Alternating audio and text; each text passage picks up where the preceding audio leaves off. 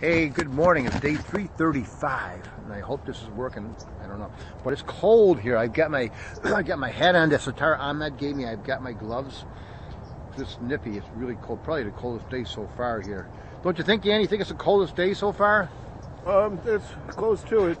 pretty pretty close to it. So, anyways, anyways, today I, I'm I'm not going to mention any names because there's there's too many. Uh, yesterday morning I woke up and I, and I just had this really amazing feeling of just gratitude and love. And I'm laying, I'm laying in bed, and I'm just like, wow, this feels so great. And then something happened, and the people that I'm that, that I'm listing today that that will get this video understand what took place. But it was kind of a kind of a tumultuous sort of a day. But anyway, so somebody somebody somebody said something.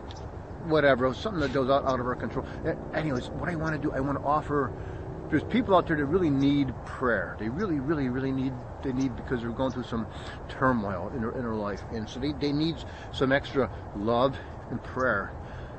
They need something. So please pray for those who are who are really not really at peace with themselves and with things. But so yesterday morning when I woke up, I had this amazing feeling of love and gratitude, and.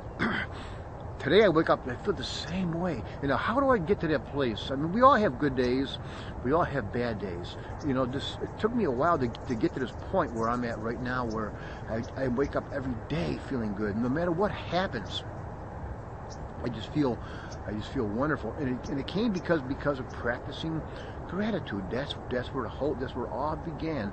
It all started from there. And it took me a year to get to this place where I'm at right now and there's there's been a lot of rough times. There's been good days. There's been bad days. And you know, if we're having a good day, everything, the whole world just feels wonderful. Like if you're in love and the birds are chirping, it's like well, everything everything is hunky dory. But you know, life isn't like that. The birds aren't always chirping, are they, Andy? Are the birds are not always chirping all the time, are they? No, not all the time. he said no, not all the time. But anyway, but but if you but if you if you once you get to that place where you know no matter what happens, you're coming from pure divine love. You come, you come from that place of love and gratitude, and, and you get there. I got there by just practicing gratitude, by just thinking about who I'm grateful for every single day. Now it's almost took it's almost a year. I mean, this is December, and I began to January 1st.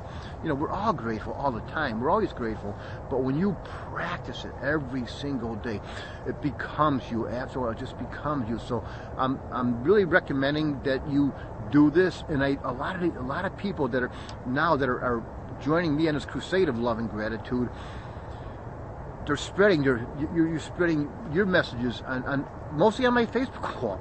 You know, mostly on my Facebook, you're spreading that, and it, and it, what it's doing is it's, it's getting more people. It's like a snowball going down the, the hill, and it's, it's getting bigger, big, and getting momentum, and just enrolling.